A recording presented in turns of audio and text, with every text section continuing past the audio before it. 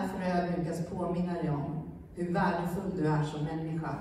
För vet du vad? Det är i dig som människa ditt värde sitter.